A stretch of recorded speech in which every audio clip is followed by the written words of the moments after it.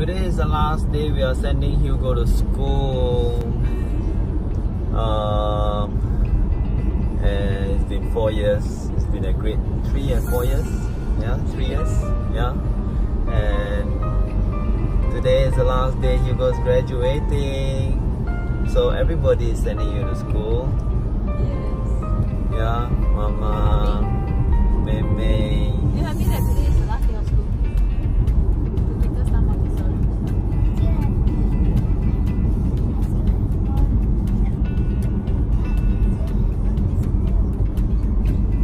You what, what are you happy?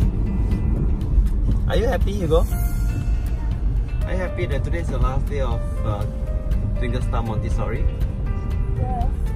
Hey, don't do that. Why? Why are you happy? Why are you happy, Hugo? Happy, happy, sad, sad. you happy because you're going to primary one? Happy is happy, sad is sad. Okay.